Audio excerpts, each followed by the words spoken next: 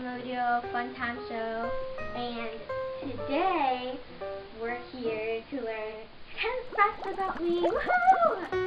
Alright, so if you don't know that much about me, you're going to learn a lot about me here. First step. Okay, so I have three guinea pigs,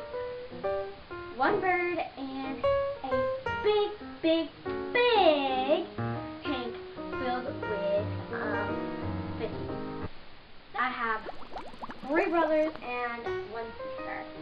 Um, bird thing to do is craft. Um, I love shopping, but if you're going shopping for Clorox, definitely no way Mose. My this my favorite color is purple. I love to eat recipes.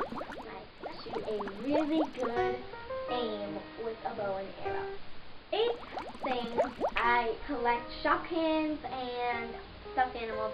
Anything you give me in my hands, I collect them, except if it's something really weird. My ninth thing is I have passion for baking, especially it's cake and cupcakes.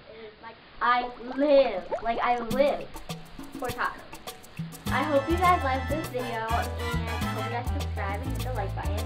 Before we go though, when I said um, I love doing crafts, this is one of the crafts I've did before. Uh, I hope you guys like